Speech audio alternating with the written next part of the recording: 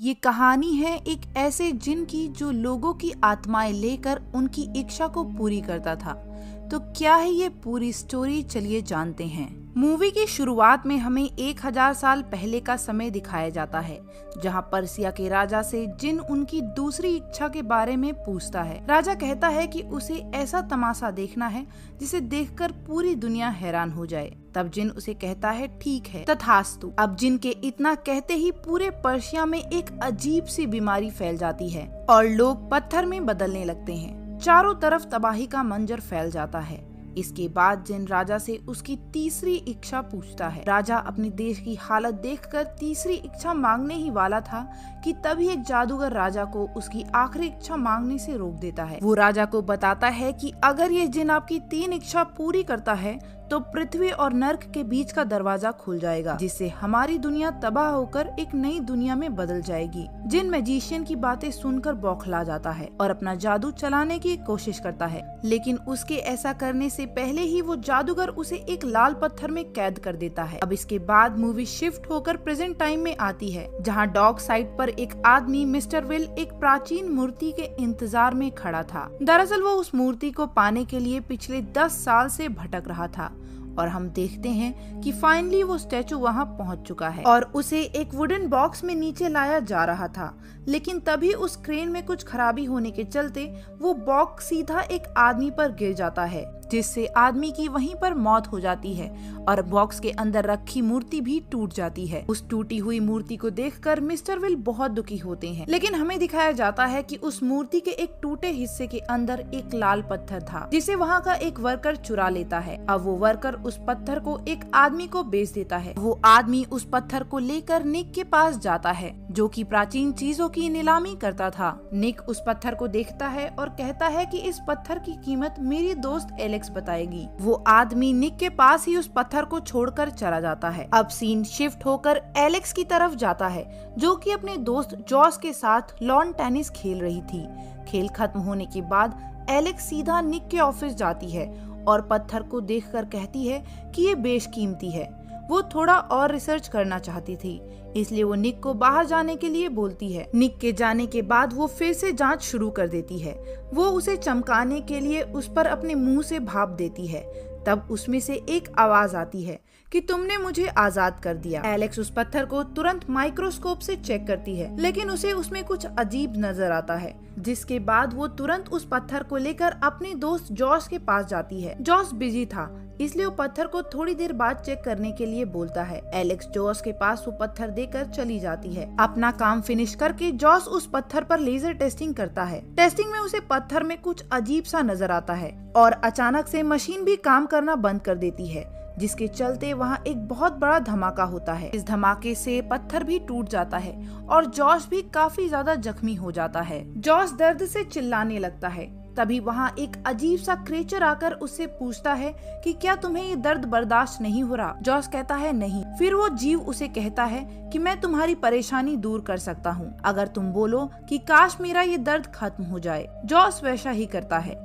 तब वो क्रीचर कहता है कि ठीक है, तुम्हारी विश पूरी हुई और तभी जॉश की मौत हो जाती है। इसके बाद वो क्रीचर इवॉल्व होकर इंसान जैसा शरीर पा लेता है, लेकिन अभी भी उसका फेस काफ़ी ज़्यादा डरावना दिख रहा था। वो पत्थर के टुकड़ों को उठाकर वहाँ से चला जाता है। ये कोई और नहीं, वही जिन था जो कि उस पत्थर से आज़ाद हो गया था। इधर जब एलेक्स जॉस की लैब में जाती है, तब उसे जॉश की मौत की खबर मिलती है, जिसे सुनते ही वो काफ़ी ज़्यादा टूट जाती है। दूसरी तरफ़ हमें एक सुपरमार्केट दिखती है, जिसके बाहर एक भिखारी भीख मांग रहा था। उसे देखकर उस सुपरमार्केट का मैनेजर उसे वहाँ से भगा देता है। भिखारी गुस्से में उसे गालियाँ देता हुआ बाहर एक गली में आ जाता है। इसी गली में उसे जिन मिलता है, जो कि वहीं गली में बैठा हुआ उसकी बातें सुन रहा था। जिन उससे आकर पूछता है कि क्या तुम उस मैनेजर की मौत के बदले मुझे अपनी आत्मा दे सकते हो?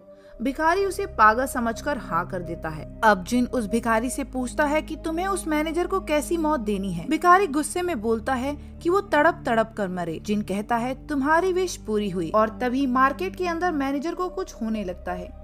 वो वहीं तड़प तड़प कर मर जाता है। अब मैनेजर की हालत देखकर भिखारी जिन से डरकर भागने लगता है। इधर एलेक्स अपनी बहन से बातें कर रही होती है। वो उसे बताती है कि अभी भी उसे यही लगता है कि जॉश को उस लाल पत्थर ने मार डाला। तब उसकी बहन कहती है कि ऐसा कुछ भी नहीं है। ये सिर्फ़ तुम्हारा वहम है। अब अगले दिन एलेक्स उसी पत्थर की जानकारी पाने के लिए डॉक साइड जाती है और उसी वर्कर से मिलती है जिसने वो पत्थर चुराया था। वो एलेक्स को बताता है कि उसे पत्थर एक मूर्ति से मिला था, जो कि ट्रांसपोर्टेशन के समय एक हादसे के चलते गिरकर टूट गई थी। वो उसे मूर्ति के ओनर मिस्टर विल के बारे में भी बताता है, जिसके बाद एलेक्स सीधा मिस्टर विल के पास जाती है, जहाँ विल उसे एक कमरे में बहुत सी मूर्तियाँ दिखाता है। और कहता है कि सभी मूर्तियाँ बहुत ही प्राचीन हैं। वो उसे उस जगह को भी दिखाता है जहाँ वो अपनी टूटी हुई मूर्ति को रखना चाहता था। वो एलेक्स को अपनी पार्टी का भी इनविटेशन देता है, जो कि कुछ दिनों बाद होने वाली थी। अब सीन शिफ्ट होकर जिन पर जाता है, जो कि एक मेडिकल कॉलेज के मुर्दा घर में जा रहा होता है। वहाँ वो एक लाश की चमड़ी उधेड़ने लगता है, जिसे वहीं का एक स्टूडेंट देख लेता है। और वो लाश की हालत देख काफ़ी डर जाता है, जिन उसे कहता है की तुम बोलो की काश मुझे ये सब ना दिखे। लड़का सेम वही रिपीट कर कर देता है इतना बोलते ही उस लड़के की आँखें गायब हो जाती हैं। वो बहुत चिल्लाता है, लेकिन जिन ने उसकी इच्छा पूरी कर दी थी, अब जिन उस लाश की स्किन उखाड़ कर अपने चेहरे पर लगा देता है और पूरी तरह इंसान जैसे दिखने लगता है इधर दूसरी तरफ़, एलेक्स उस पत्थर का इन्वेस्टिगेशन करते हुए एक इतिहास के प्रोफेसर के पास जाती है। एलेक्स की पूरी बात सुनकर प्रोफेसर उसे कहती है उसने एक किताब में कहानी पढ़ी थी, जिसका नाम था गुप्त आग का पत्थर। प्रोफेसर आगे बताती है कि गुप्त आग से एक पत्थर बनाया गया था, जिससे एक जिन को कैद किया गया। एलेक्स की कहानी सुनकर काफ़ी डर जाती है। इधर जिन अपने लिए कपड़े लेने जाता है, वहाँ कैश काउंटर पर उसे एक लड़की दिखाई देती है। वो उससे पूछता है कि, तुम बहुत ही सुंदर और जवान हो, क्या तुम हमेशा ही ऐसा दिखना चाहती हो? लड़की कहती है हाँ बिल्कुल, मैं हमेशा ऐसी ही दिखना चाहती हूँ, जिन उसकी इच्छा पूरी कर देता है। और वो लड़की वहाँ एक स्टैचू में तब्दील हो जाती है। इसके बाद जिन सीधा पुलिस स्टेशन जाता है, वो वहाँ एक डिटेक्टिव से एलेक्स के घर का पता पूछता है। ये वही डिटेक्टिव होता है जो कि जॉर्ज के डेथ केस को हैंडल कर रहा था। वो जिन को एलेक्स का पता नहीं बताता, लेकिन जिन नोटिस करता है कि बात करते वक्त वो डिटेक्टिव का ध्यान एक आदमी की तरफ़ था, जिन उससे पूछता है कि तुम उस आदमी को क्यों देख रहे हो? डिटेक्टिव बताता है कि वो आदमी एक क्रिमिनल है। वो हर बार खून करके पावर्स के दम पर जेल से छूट जाता है। इसके बाद वो खुद ही जिन को अपनी इच्छा बता देता है। वो कहता है कि मैं चाहता हूँ कि वो क्रिमिनल मेरे सामने किसी का खून कर दे, ताकि मैं रंगे हाथों उसे पकड़ लूँ। तभी जिन उसकी इच्छा पूरी कर देता है और वो क्रिमिनल आदमी पुलिस की गन उठाकर दो पुलिस वालों को मार देता है। डिटेक्टिव तुरंत ही उस क्रिमिनल को दबोच लेता है। वहीं जिन भी मौके का फ़ायदा उठाकर डिटेक्टिव के टेबल पे पड़ी एक फ़ाइल से एलेक्स का पता निकाल लेता है। दूसरी तरफ़ एलेक्स भी गुप्त आग का पत्थर वाली किताब पढ़ रही थी। उसे उस किताब से पता चलता है कि वो लाल पत्थर एक पर्शियन जादूगर ने जिन से अपने देश को बचाने के लिए बनाया था। जिन लोगों की इच्छाएँ पूरी करके उस पत्थर को ताकतवर बनाता है। वो इस पत्थर को ताकतवर बनाकर नर्क का दरवाज़ा खोलना चाहता है। जिन उस आदमी की तीन इच्छाएँ पूरी करता है, जिसे उसने आज़ाद किया हो, क्योंकि उसके ऐसा करते ही नर्क का दरवाज़ा खुल जाता है। लेकिन उसमें लिखा था कि जिन सिर्फ़ अपनी ताकतें लोगों की इच्छाएँ पूरी करने के लिए ही इस्तेमाल कर सकता था। एलेक्स किताब पढ़कर बहुत घबरा जाती है क्योंकि उसने ही जिन को आज़ाद किया था।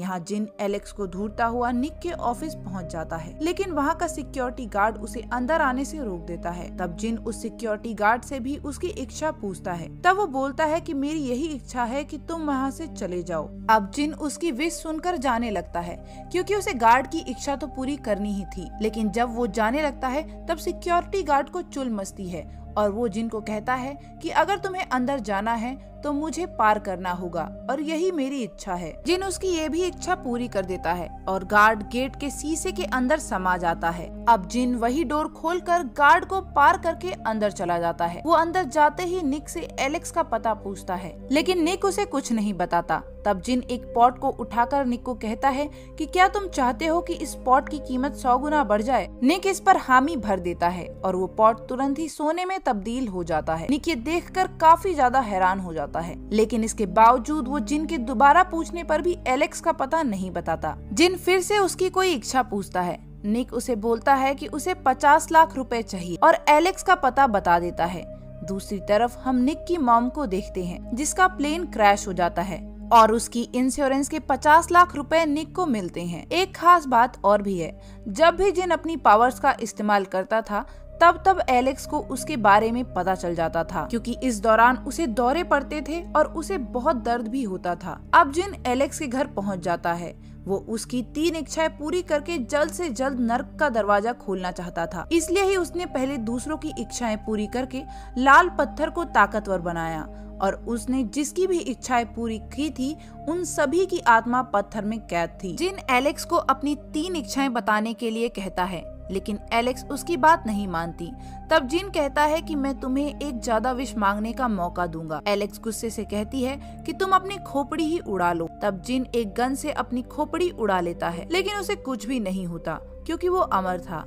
अब जिन फिर से उसकी तीन इच्छाएँ पूछता है। फिर एलेक्स अपनी इच्छा बोलती है। वो कहती है कि मैं जानना चाहती हूँ कि तुम क्या हो। अब जिन उसकी इच्छा पूरी करता है और अपनी दुनिया में ले जाता है, जो कि किसी टॉर्चर रूम से कम नहीं थी। जिन बोलता है कि मैं किसी का कष्ट, दर्द, चीख हूँ। इन शॉर्ट तुम मुझे किसी की निराशा भी कह सकती हो, क्योंकि जब भी कोई निराश होता है, तब वो सबसे ज़्यादा उसी चीज़ की चाह करता है जो उसे चाहिए। इसके बाद एलेक्स के पीछे एक डरावना सा जीव पड़ जाता है और वो वहाँ से भागती है। जिन एलेक्स से कहता है कि मैं तुम्हारी बहन के पास जा रहा हूँ, तब डर कर एलेक्स उसे अपनी दूसरी इच्छा भी बता देती है। वो कहती है कि मैं चाहती हूँ कि मैं तुरंत ही घर पहुँच जाऊँ, जिन उसकी ये इच्छा पूरी कर देता है और एलेक्स अपने घर में आ जाती है। वो घर में अपनी बहन को पुकारती है।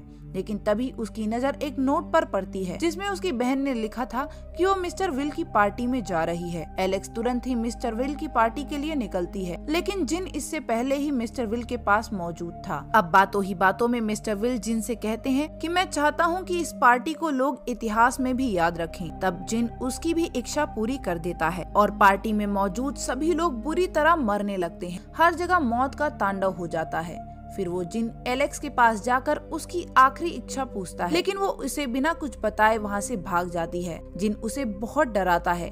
लेकिन एलेक्स अभी भी मुँह नहीं खोलती, जिन फिर प्राचीन मूर्तियों को ज़िंदा करके बहुत लोगों को मरवाता है। एलेक्स फिर भी नहीं टूटती।